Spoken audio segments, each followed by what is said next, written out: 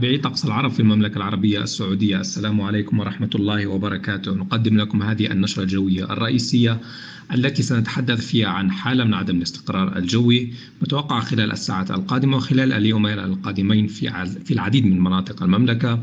أيضا زخات من الأمطار على العاصمة الرياض اعتبارا من ساعات مساء يوم الأربعاء وأيضا الارتفاع التدريجي على درجات الحرارة في عموم مناطق المملكة خلال الأيام القادمة.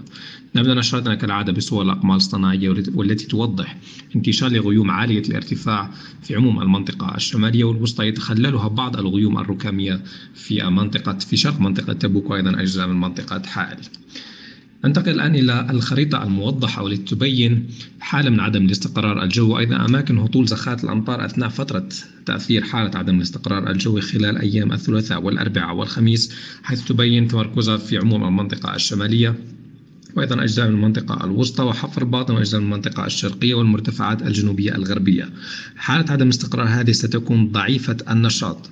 أي خفيفة النشاط أي تترافق بزخات خفيفة من الأمطار قد يتخللها بعض الزخات المتوسطة الشدة خاصة خلال ساعات مساء يوم الأربعاء. تشمل فرصتها على العاصمة الرياض خلال ساعات مساء يوم الأربعاء.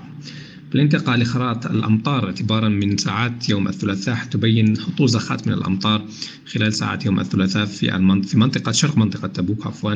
أيضا أجزاء من المنطقة الشمالية منطقة حائل وغرب منطقة القسيم خلال ساعات الليل تنتشر هذه الغيوم الماطرة في عموم المنطقة الوسطى. تشمل أجزاء إضافية من منطقة حائل وأيضا أجزاء إضافية من منطقة آه، القسيم أيضا أجزاء من منطقة المدينة المنورة. خلال يوم الأربعاء يستمر تأثير حالة عدم استقرار الجو في عموم المنطقة الوسطى. تنتقل الفعالية الجوية للمنطقة الشرقية. تكون الفرصة مهيئة لهطول زخات من الأمطار في العاصمة الرياض خلال ساعات مساء يوم الأربعاء بحول الله. يوم الخميس تتراجع حدة الزخات الأمطار وتتركز في المنطقة الشرقية حيث تكون الفرصة مهيئة لهطول زخات خفيفة من الأمطار في تلك المنطقة. بالانتقال لخرائط درجات الحرارة السطحية المتوقعة خلال الأيام القادمة يلاحظ أن الأجواء دافئة في عموم منطقة الجزيرة العربية خلال ساعات يوم الثلاثاء. بالنسبة ليوم الأربعاء والخميس والسبت هناك ارتفاع تدريجي على درجات الحرارة خاصة على المنطقة الوسطى والجنوبية والشرقية والغربية. فيما تبقى درجات الحرارة نوعا ما باردة إلى لطيفة في المنطقة الشمالية بسبب تأثر منطقة بلاد الشام خلال الأيام القادمة بسلسلة من المنخفضات الجوية تترافق بكتل هوائية باردة. بالانتقال للتوقعات الجوية للعاصمة الرياض خلال ثلاث أيام القادمة. يوم الأربعاء درجة الحرارة 29 درجة مئوية. مع فرصة لهطول زخات خفيفة من الأمطار هي عبارة عن حالة من عدم الاستقرار الجوي. تستمر فرص الأمطار خلال ساعات ليل يوم الأربعاء.